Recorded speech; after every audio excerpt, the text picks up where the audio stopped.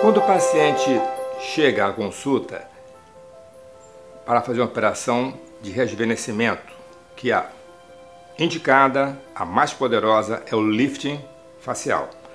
Então o paciente pergunta: quantos anos, doutor, o senhor pode me rejuvenescer? E eu respondo com absoluta segurança: a cirurgia pode rejuvenescer você 8, 6 até 10 anos, mas o seu coração, o seu espírito pode rejuvenescer 20, 30 anos, porque a verdadeira juventude, a verdadeira beleza vem de dentro, vem do espírito de cada um de nós.